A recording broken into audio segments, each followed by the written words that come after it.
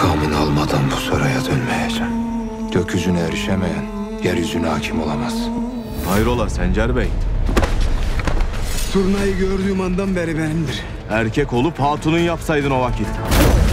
Gözün turnaya değerse gözlerini çıkarırım. Atabeyim, Kılıç Aslan'ı Anadolu'ya gönderme vakti gelmiştir. İntikam için saldırın! Kahretsin.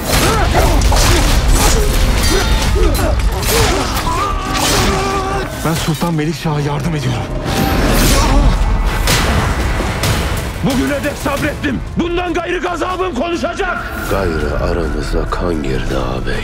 Kılıç Arslan'ı öldüreceğiz. Anadolu paramparça olacak. Gayrı vakti geldi Kılıç Aslan.